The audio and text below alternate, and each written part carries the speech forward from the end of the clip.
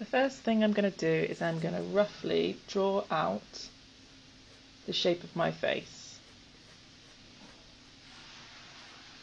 I'm working from um, a mirror, but I just wanted to show you the drawing. So the rough shape of my face is, it kind of comes up down like a heart-shaped face. It's almost like an oval with a slight um, narrow chin. So I've just roughly done that with light pencil first. I'm then using what I know about facial proportions, what you've been learning in previous lessons, by just really lightly marking out about halfway down the face.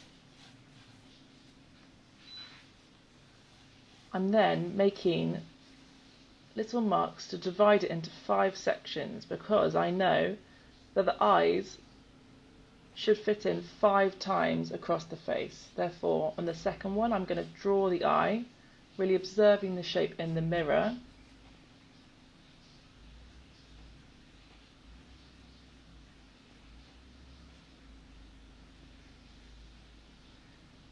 Making sure that the corner of my, both corners of my eye go to each point that I've already previously marked out when I divided it into five. So I'm missing the middle section, it's almost where the nose would go. And I'm joining that second eye, making sure that I'm going from each corner to corner, again where I've divided it into five sections. It might always look a little strange at first um, when you put the eyes halfway down the face, but that is where they go. So now I'm marking halfway down between the eye and the chin. This is rough again, but we're just practicing facial proportions. My nose comes roughly about the corner of my eye down, but that is not a set rule. You want to observe what's going on for you in the mirror. So I'm going to be drawing what I can see. So I'm just actually drawing the line of the bottom of the nose, actually really looking at what's happening in the mirror. You can never normally, as well, you can never see just two, two round circles you need to make sure that you're trying to be accurate here. It's almost like a wave. Of course, everyone looks different, but that is roughly what mine looks like. Now, I'm going to do halfway between the nose and the chin. So again, this is practicing what we've learnt previously about facial proportions. I've roughly put marks where my mouth comes up to. So this little line, or the line that I've created, which is halfway between the nose and the chin, is where the middle of the lips are going to be. I'm really trying to observe the shape of my lip.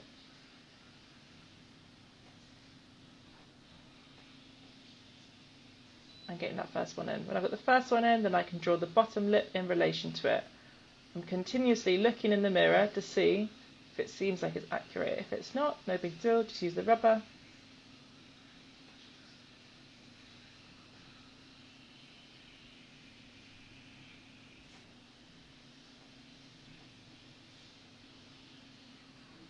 Now I'm going to draw those little corners in of the eye that when you get a little, you've got the skin and then you can see the eyeball within it. Then I'm going to, um, to draw the circles within the eye.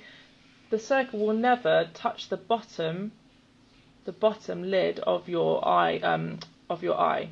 There's always going to be a little bit of a gap there, which is normally a misconception, so people might make that mistake. But I'm again really looking at what's happening in the mirror.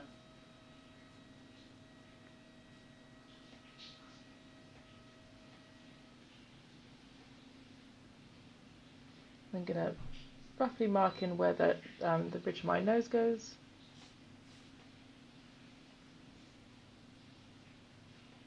In that. So I'm going to be adding some details now. I'm going to start drawing in my eyebrow. But when I started drawing in my eyebrow, I observed that I would want to put the eyelid in first, draw that in, so I know where the, the eyebrow is in relation to the eyelid. So I'm really looking at the space above my eyelid to my eyebrow. So I roughly mark that in and I'm going to do the same for the other side.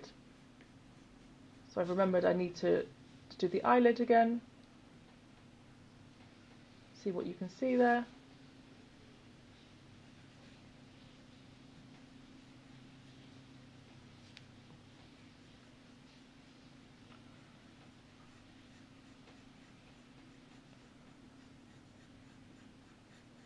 I'm then going to add in the, the iris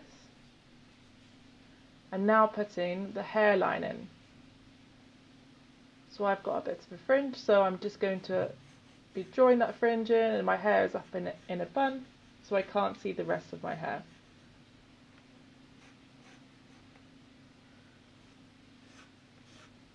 This activity is just to practice the facial proportions and then when you get used to it you won't need to use this technique anymore. So I'm going to get in those little extra details.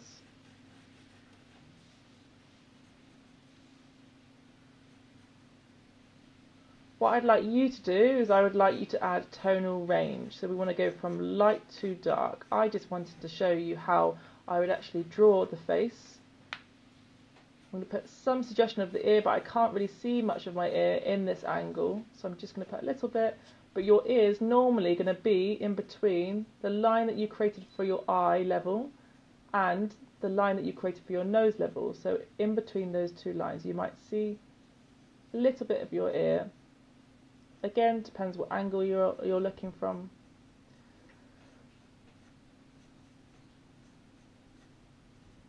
But yes, I would like you to practice doing directional shading and applying tonal range. So you want to go from light to dark.